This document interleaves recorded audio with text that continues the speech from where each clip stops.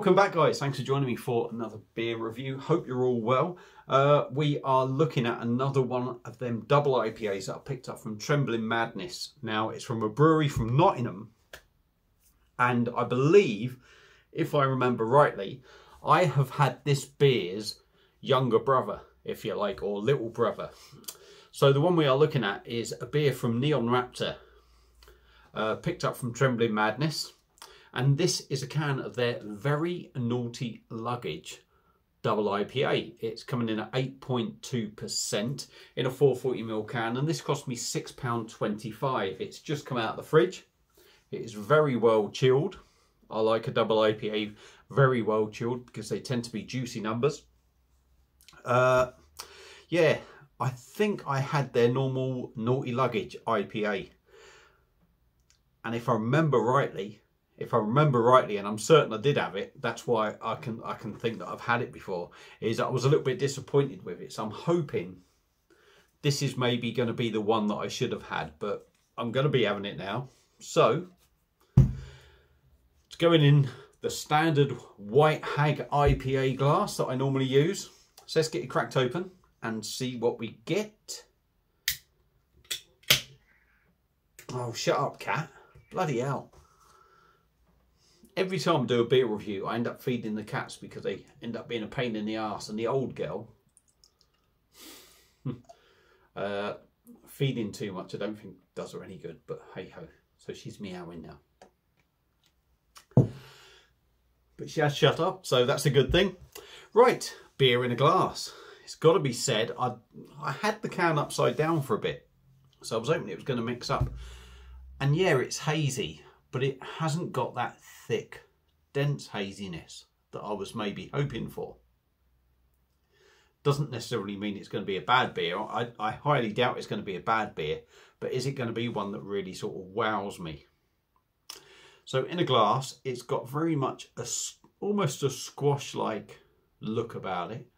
Uh, it looks a bit dark on my side, lights on it that side, so it is looking a bit paler, but it is looking a, little bit murky, but quite sort of thinnish, I'm going to say. We've got about a finger of a compact white head on top. I'm not seeing any bubbles going up, but it's a nice hazy number.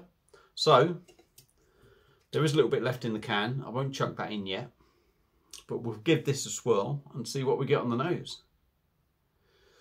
I'm not, I, do you know what, I don't even attempt to read half the stuff. Now, on these cans because look at the bloody size of it. And yes, I keep saying I need to get my eyes tested and one day I will. I'll probably get my eyes tested when it's too late, probably when I'm in a coffin or something. I don't know. But yeah, stop being morbid, eh? Let's have a sniff. The cat's come in now to stick her nose in. There you can see. Honestly, This doesn't have that big, full, punchy sort of aroma of a double IPA. It smells, for me, it just smells of an IPA. It's hoppy. It's kind of tropical. But other than that, it smells quite disappointing quite disappointing. Now, like I say, I was disappointed with the naughty luggage. So it would be a shame if this one, being a little bit more ballsy, is disappointing. There is a couple of big craters of yeast dropped in there and it's certainly hazed up more. There's certainly a, a big murkiness there. And the cat's being a complete pain in the arse. Bless her. So, yeah, we'll let that settle a little bit. I'm going to show you the can once more. Neon Raptor, very naughty luggage, double IPA, 8.2%, £6.25 from Trembling Madness. Let's dive in, give it a taste. Uh, what I will show you quickly, don't know if you can see, there's still some bits lurking around there, dropping down. Right, let's dive in, give it a go. Cheers everyone.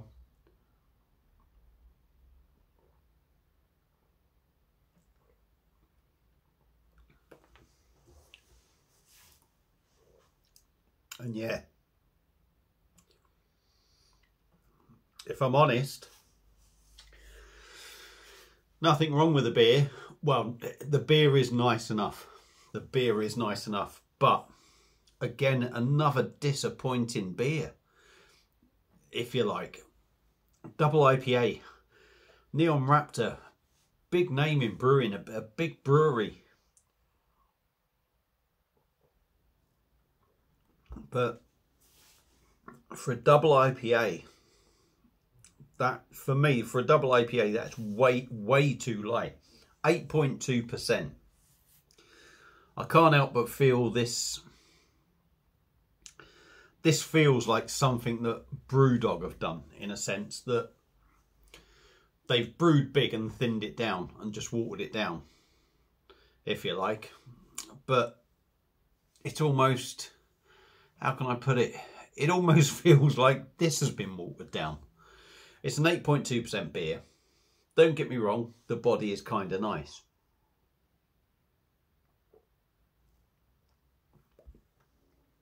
But I've had standard IPAs that have had much better bodies than that.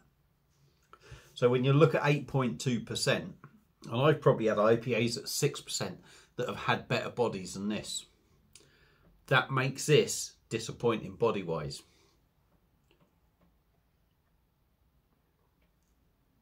Yes, it's nice. Yes, it's minimal carbonation. Yes, it's smooth. Yes, it's soft but it's lacking in that body side for me. On the taste, again, even on the taste, it's not really punching you in the face. It's there, don't get me wrong. The flavours are still there. It's a big beer, but it's lacking something. It really is lacking something.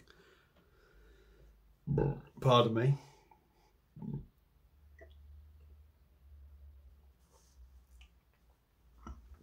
It's hoppy, tropical, pineapple, passion fruit, mango. It's very much tropical notes, which, as big as they are, and they are big and they are kind of bold, but they feel like they're lacking as well. The body feels like it's lacking. Uh, the flavours, the body feels watered down. The flavours almost feel a little bit watered down. It's very disappointing.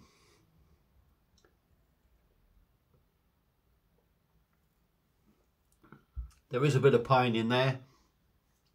There is also a little bit of dankness in there. But for £6.25,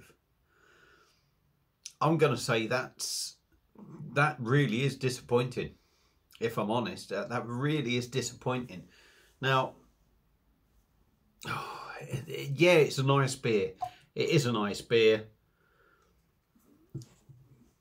But when you're paying this kind of money for something, you expect something bigger. If you're paying good money for a beer, you expect something bigger. Now, it's not Trembling Madness's fault for...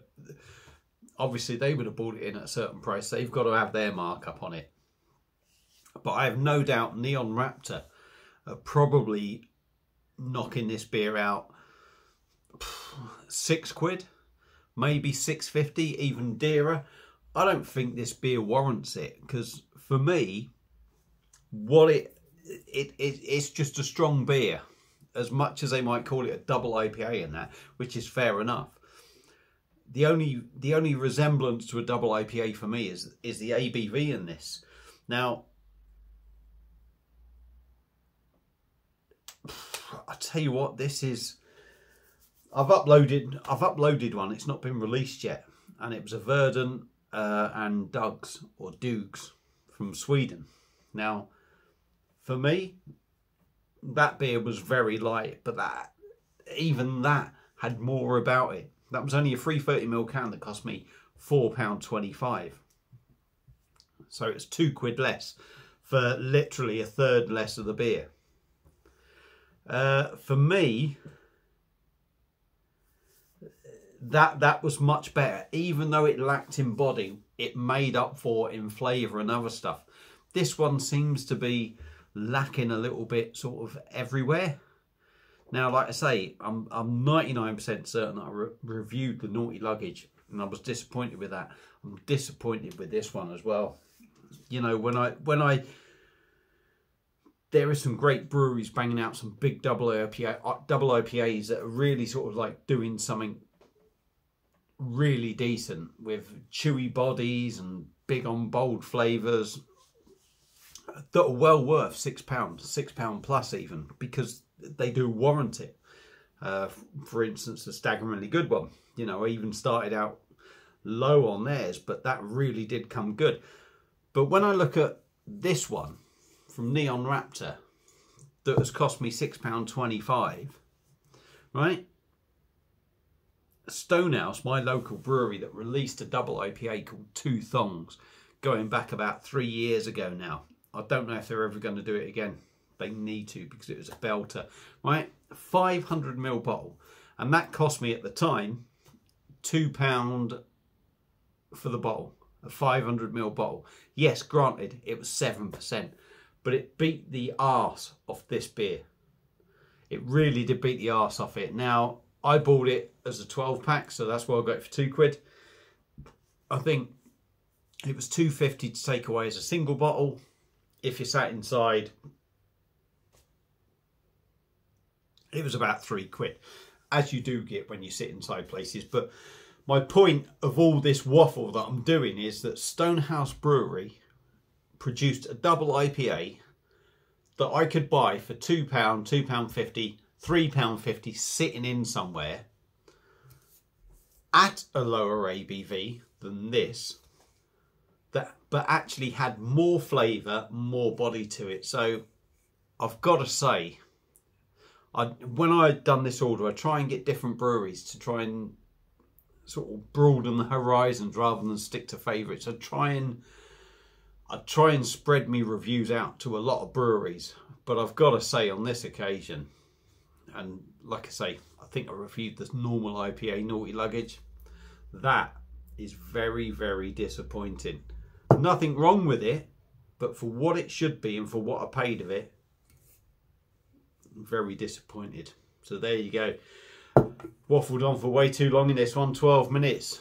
Neon Raptor, very naughty luggage, double IPA, 8.2%. Would I recommend it?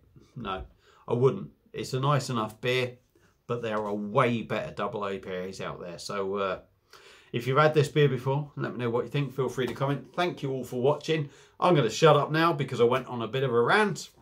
Take care, and I'll see you on another one. Cheers.